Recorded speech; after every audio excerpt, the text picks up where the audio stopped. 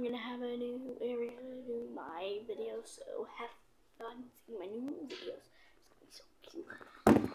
I'm just making it just for me. Just